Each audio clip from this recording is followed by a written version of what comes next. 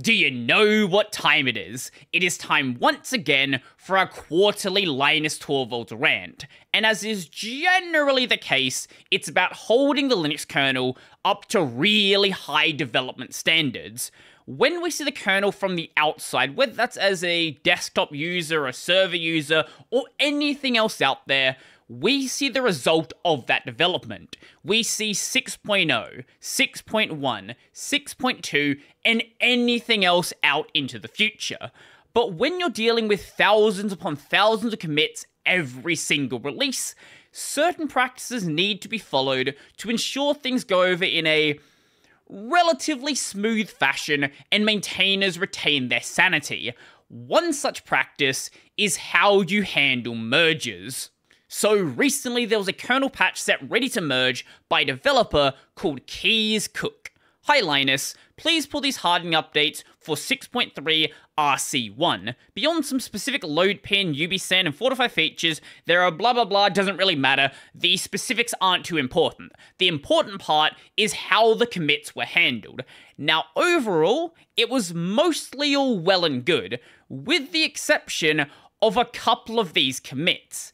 So I've pulled this, but while looking at it, I see commit this string merge branch for Linus slash hardening into for next slash hardening. And that one line of short log part is literally the whole commit message. I've said this before, and apparently I need to say this again. If you cannot be bothered to explain why a merge exists, then that merge is buggy garbage by definition.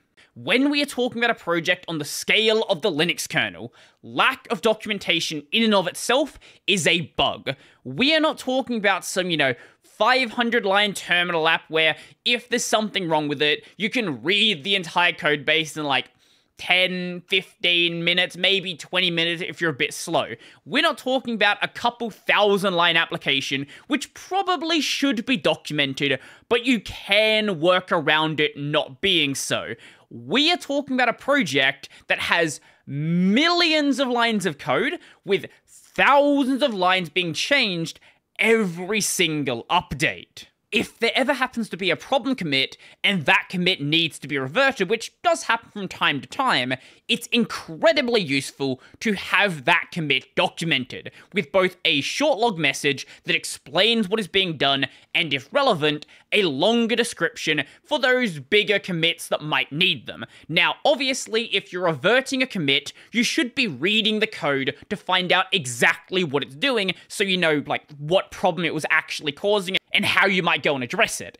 However, having a good description there gives you a better idea at what you're looking at without having to first go and examine the code.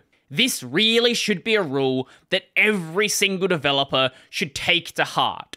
I'm not just putting random words together in a random order. Now, obviously, that's an exaggeration, that's hyperbole. This isn't random words in a random order. If you've ever used Git before, if you've ever used remotes like GitHub and GitLab, you've probably seen commits like this plenty of times. What is being done is merging the work from one branch into another branch. This is a totally normal function and for most repos is a totally normal way to name the commit.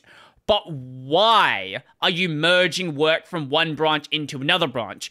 All this says is the work is being merged, but for what purpose? What is it doing? What is it adding? Was there any other way you could do it? Why is it named like this? I repeat, if you cannot explain a merge, then just don't do it. It's really that simple. There is absolutely never an excuse for mergers without explaining why those mergers exist. In this case, I really think that merge should not have existed at all, and the lack of explanation is because there is no explanation for it. But if there was a reason for it, then just state it and make that merge commit look sensible because right now it just looks entirely pointless, and I literally detest pointless mergers. They only make the history look worse and harder to read. Now, unless you're developing everything on a single branch, or before you send the code up to the kernel, you throw everything away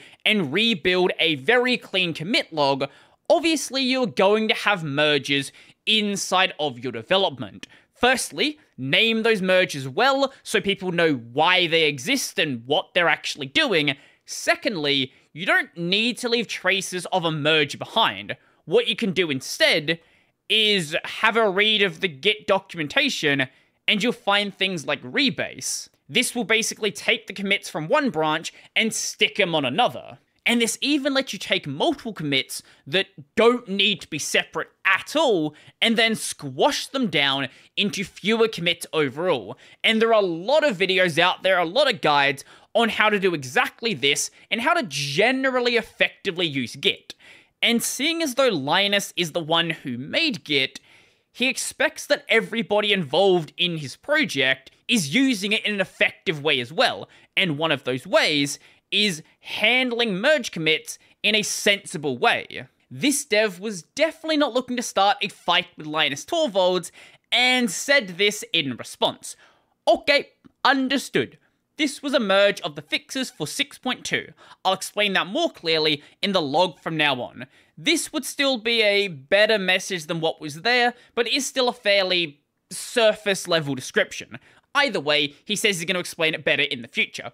Totally fair. Now, Linus also did continue. He used this as a platform to basically further explain, with a lot to go on here, uh, why this is such a big deal. If you want to, go check out the full thing for yourself, but we're just going to skim over it.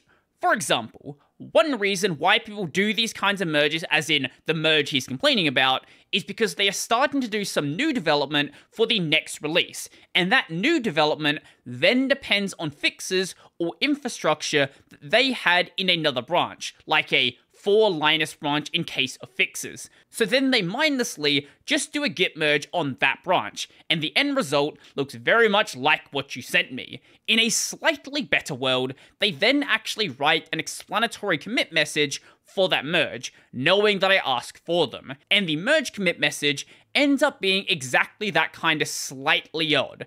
Now I'm starting a new thing that depends on the fixes I already upstream, so I'm merging that branch, which while certainly better than no explanation at all, sounds a bit odd, doesn't it? Yeah, add a few details on just what you depend on and why, and it gets much better, but it's all going to be a bit of hand wavy about future work that you haven't even written yet. And that will then maybe make you then go, ah, I'm doing things wrong. Because the nice Git way to do that kind of thing is to actually realize, oh, I'm starting new work that depends on the fixes I already sent upstream, so I should just make a new topic branch and start at that point that I needed. And then, once you've done all the new work that depended on that state, only at that point do you merge the topic branch. Instead of having to waffle about future work depends on this feature that was in another branch, so I'm merging this branch, your merge commit now makes sense. You're not merging some old state in order to create new features, you are literally just merging the completed feature. And the most important takeaway for why Linus cares so much is this because we have a very real history where people did mindlessly daily back merges like this just because, with absolutely no rhyme or reason, just because they wanted to start each day with the most recent base, and it really gets very ugly. The development history can go from a DAG that actually visualizes the different development streams nicely to a spider nest maze of inexplicable mergers very quickly. Linus is very proud of the fact that the Linux kernel has very clear guidelines and developers are expected to follow them. He's said in the past how he's really happy that the Linux kernel is basically the gold standard of how to run a FOSS project, how to run Git, how to actually do development in this fashion in a really productive and effective way. But what do you think? Do you think Linus cares too much? Do you think the way that most Git repos are run is totally fine? It works for a small project, so it's probably going to work on a large scale as well. I would love to know your thoughts. So if you liked the video, remember to go and like the video, and if you really like the video and you want to become one of these amazing people over here, go check out my Patreon, Scribe, Stanley Berapay, linked down below. That's going to be it for me, and